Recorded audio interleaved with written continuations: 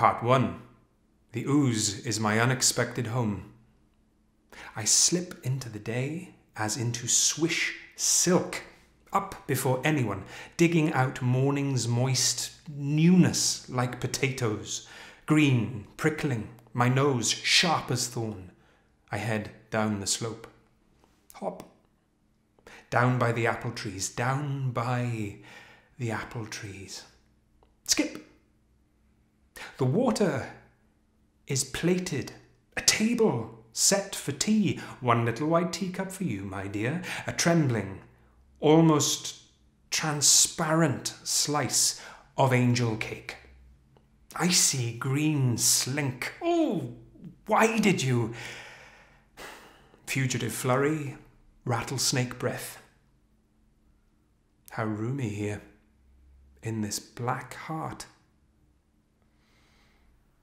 Part 2 Louis Limpopo laments. Like an oiled clarinet, a bouncy bassoon with corked cork on his back, a sulky slider of green treacle, slow with a slow gin kick, all from one lung. Through desert and forest he's hippopotamusy, has one ancient, urgent push to carry me home. Fever trees make a low chariot. Ain't gonna study war no more. Part 3 Sheila Shannon shoulders the cross. She batters rocks like crockery, brims. From overhead, the familiar home tug gets you from all angles. You see she trails a mane of porter black with its froth and gullies of ginger jellied air. What did they all want? My sorrows drowned. It's goodbye, Mersheen Durkin, going to lay down my burden, down by, down by, pulling up through bog and moor, potato land, gliding by strange new settlements, shiny acre gardens, old hurt. Work away now, work away. These rocks seep secrets, rough words into the night. Someone who oughtn't to be there lies. Something wrapped in a cloth entrusted to the emerald stream. Part 4 Mr. Derwent. How do you do, my rushing gent?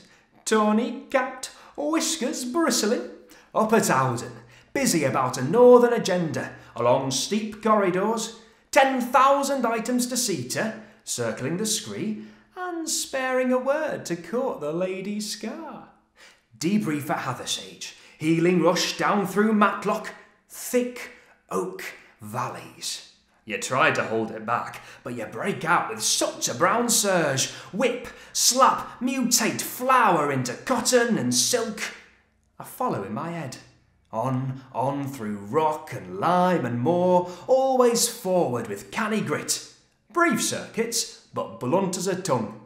The wind confounds you at Ambergate. I spent two years trailing you, then wonder where you went. Part 5 Gave Dupont, Lourdes. One leap down from the snows, and she pauses the tune to pass the shrine. Roomy, watery place, milk green with the sun on it, rising, full of lace. October fire bombing the trees. So cold. The shock of contact. Mother's blue obliterates thought.